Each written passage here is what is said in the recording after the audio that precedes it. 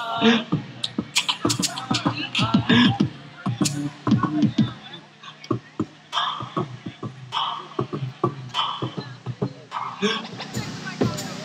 go by the name of Monotone. And we got Stephanie. We got Sochi up here. We got Elgin, the Kari, the illustrator. Yeah, yeah. We got Substance. Jedi on the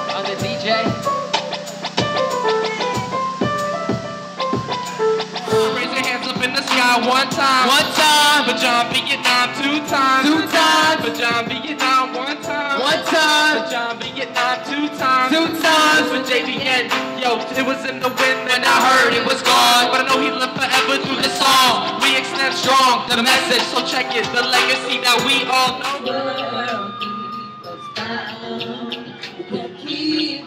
Sometimes I wonder what my life would be like if I was dirt poor.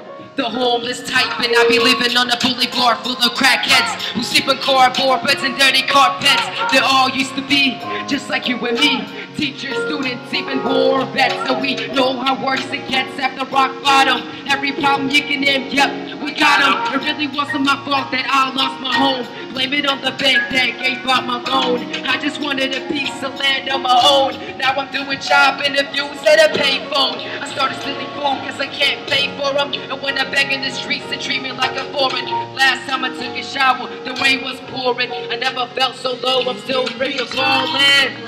Numbers like 150,000 represents obstacles to their success. Numbers like 150,000 count days of waiting for a better life. But today we will not let government's use of extortion and public's abuse of mental abortion dilute the truth that we, unlike those against us, paid through our own lives and not the taking of lives to be here. Today we wipe the look of self-entitlement off our oppressors' faces and ask, what made this your land or my land? From California to the New York Islands, when indigenous peoples are in reservations, not in cease dictating immigration. Today we stand 150,000